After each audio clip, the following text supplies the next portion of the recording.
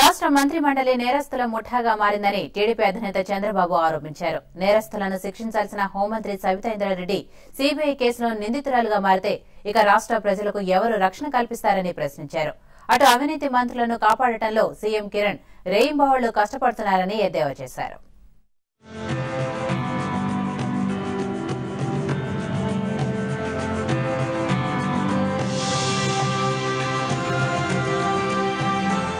TDP అధినేత చంద్రబాబు నాయుడు చేపట్టిన వస్తున్నా మీకోసం పాదయాత్ర తూర్పు గోదావరి జిల్లాలో ఇరవై ఒక్క రోజులు పూర్తి చేసుకుంది. ఇప్పటి వరకు ఏ జిల్లాలోనూ నిర్వహించని స్థాయిలో అధికంగా ఈస్ట్ గోదావరిలో పాదయాత్ర చేస్తున్నారు. ఆరోగ్యం సహకరించుకున్న మొక్కవోని దీక్షతో ప్రజలతో మమేకమవుతున్నారు బాబు.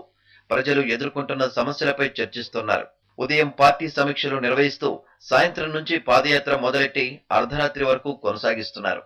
వెలమకొత్తూరులో టమోటా పొలాల్లోకి దిగి పంటను పరిశీలించారు. రైతులతో నేరుగా మాట్లాడారు.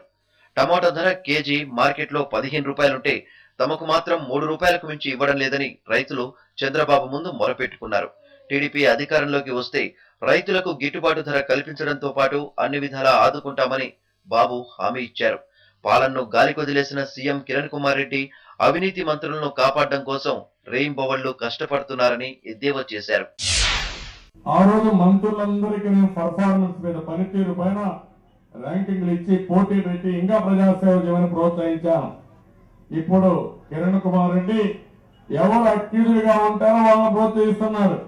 ఇప్పుడు ఎవరిని ప్రోత్సహిస్తున్నారంటే సబితా ఇంద్రారెడ్డి ఏ ఫోర్. అదే మరి మోపిదేవి ఏ ఫోర్. ఇంకో పక్క ధర్మాల ఏ ఫైవ్.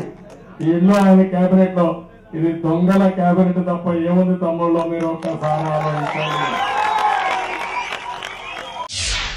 చంద్రబాబు ఇవాళ కూడా తుని రూరల్ మండలంలోనే పాదయాత్ర సాగనుంది. ఇరవై రెండవ రోజు కుమ్మరిలోన వద్ద నుంచి ప్రారంభమై కొలిమేరు సుభద్రయపేట జంక్షన్ మీదుగా పాదయాత్ర సురవరం చేరుకోనుంది.